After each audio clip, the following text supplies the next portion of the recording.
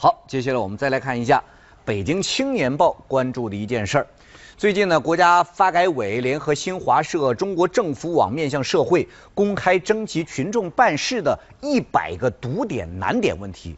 什么叫堵点难点呢？哎，就是以往我们经常会说到的，比如说你要去办一件事儿，要反复提交材料，而且要在多个部门之间跑来跑去，跑断你的腿，甚至还要不断的拿出类似于“我妈是我妈”这样的奇葩证明来。这些其实都是解决问题的堵点和难点。现在要征求大家的意见啊，帮忙梳理一下，看一看到底在哪儿。那文章啊对此评论是这样说的：他说啊，其实，在大家的这个积极主动下，找出这样的难点堵点一点都不难，但是关键点就是要在解决它。怎么解决呢？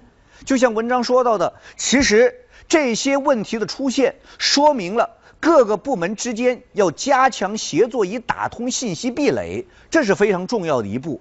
而对于征集到的问题，涉及到机构部门认领以后，也要给出解决的路线图、时间表。对没有及时解决的，要依法依规予以追责，充分发挥倒逼的作用。也就是找问题不难，解决问题才是关键。